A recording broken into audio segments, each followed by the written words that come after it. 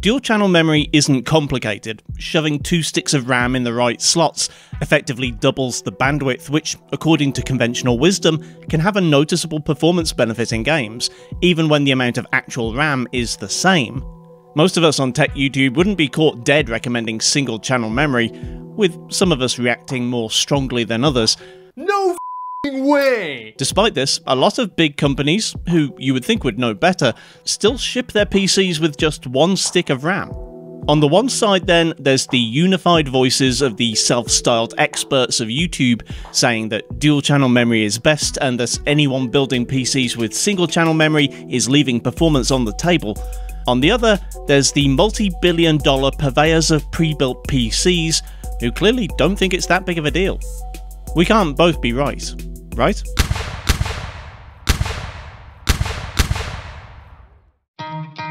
When it comes to single versus dual channel memory, I'm usually on the side of other YouTubers. It seems like such a small upgrade that could be of so much benefit that it seems almost malicious not to. But in truth, I've never actually tested this fact in any kind of depth. To rectify this, in this video I'm comparing single channel RAM versus dual channel to see if my pre-existing bias was correct or if I was making a big deal over nothing. After all, my belief that Dell, HP and others ship single channel RAM in their pre-builts as a cynical cost-cutting measure is itself a cynical one, based on my own assumption that corporations will always put minor cost savings over the benefit of their customers. It's entirely possible that my assumption is wrong, and that the big PC builders actually do know better than little old me. To find out for certain, I'll be testing two 16GB memory setups, Systems stuck on 8GB tend to have to rely on the page file to run games, and therefore can be bottlenecked by the kind of storage you're using, so I'll stick to just 16GB for now. My test setup today is um, actually a little less moderately priced than usual. I'm using my personal gaming and editing system featuring a Ryzen 5 5600X clocked to 4.6 GHz and an RTX 3070 along with a fixed 16GB page file assigned to the 500GB Samsung Gen 3 NVMe SSD and with games running from a second, slightly slower Crucial NVMe SSD. The RAM in question consists of a pair of V-Color 8GB single rank sticks clocked at DDR4 3600 with CL16 timings, and a single 16GB stick of dual rank Corsair Dominator Platinum at the same frequency and timings. Starting with a tricky one, and I should probably spoil things a little for you up front. The key difference I expected to find between single channel and dual channel RAM was not so much in average frames per second, but in smoothness of gameplay. The problem with testing Fortnite is, these days, it's basically one big frame time spike. To try and get around this, my test methodology was to do four test passes per setup using competitive settings and basically toss the first result, as Fortnite tends to stutter more on the first run or two while shaders compile. What I'm showing here is the average of the three remaining results, and the difference in the low end is, well, pretty small. 0.1% lows are in the 80s on both single and dual channel setups, so stutter was nowhere near as bad as I've experienced in the past, with about a 6% benefit to dual channel over single. 1% lows and averages showed a greater disparity of about 8 to 9%, so pretty much exactly the opposite of what I expected. Splitgate in single channel showed a lot more of what I expected, the kind of massive frame drops that got David all hot and bothered.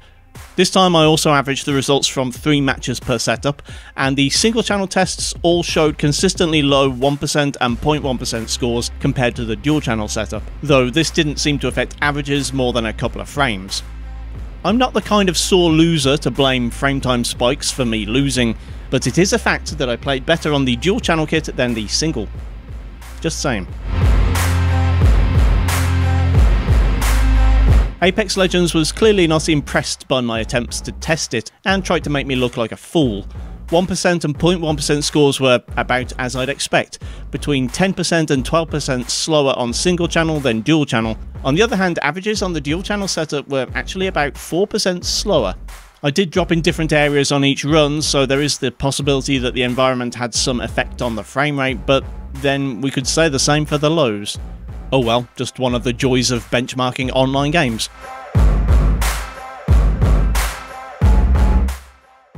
Call of Duty Warzone has a reputation for being a RAM hog, so it seemed like an ideal test for this comparison. Like with Fortnite, however, the results were basically the opposite of what I expected. 0.1% lows were nearly identical across RAM setups, with differences only appearing at the 1% and average frame rates.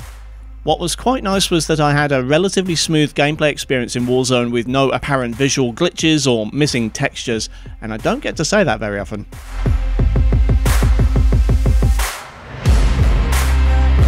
I thought I'd round things up with Cyberpunk, partly because it's a generally very demanding game, and partly because it's a pretty easy test to repeat. I can almost do this drive in my sleep now. Unlike the other tests, my choice of quality settings wasn't aimed at gaining a super high frame rate, but keeping traffic and pedestrians at the high setting and enabling all of the ray tracing options made sure that the whole system was getting a workout rather than just the GPU.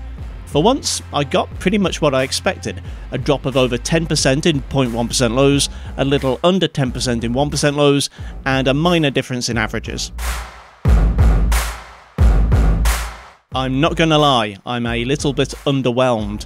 I expected more of what David saw when testing pre built PCs, where games just played out like old timey movies recorded on hand cranked cameras. Admittedly, even running at half its rated speed, the Domplat is still dual rank memory running at 1800 megatransfers per second, so it's not like I'm using something that's as slow as DDR2. Maybe dropping the RAM speed lower might give closer to the authentic Acer Nitro loser suckface experience, but it's also equally possible that there's something else making his pre-builts run worse than my PC. Maybe bloatware, maybe cheap or faulty storage, or perhaps the spirit of that girl from the Fear series. I'm interested to hear your thoughts in the comments. In the meantime, I'm not going to change my recommendation. There's still a measurable benefit to dual channel even if it's not as earth shattering as I expected. I also haven't changed my opinion on why pre-builts do this. Clearly the OEMs have judged that a 10% drop in performance is worth the couple of bucks they say by skimping out on RAM sticks. If you'd like to see me torture myself using an 8GB system with a hard drive page file, click the video on the left. And once it's finished, I'll put my next video up on the right, where I'll be testing out 32GB options. Thanks for watching, kindly do the usual YouTube things if you feel so inclined, and I'll see you next time.